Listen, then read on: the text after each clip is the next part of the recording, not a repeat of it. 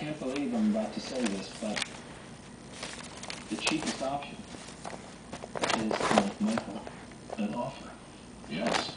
Yes, I was going to say the same thing. We should probably talk. Oh, They didn't.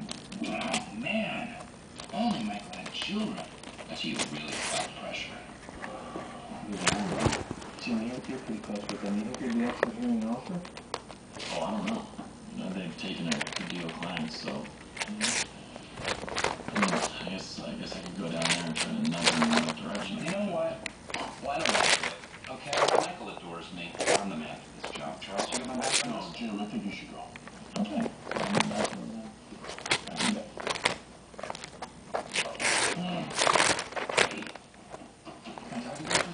not allowed to. Actually, there's something else. Listen, I can't make you laugh right now. You know I love your guessing game, but why don't I just tell you what I'm here for?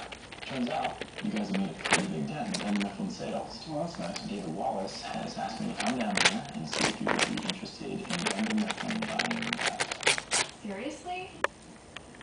Are you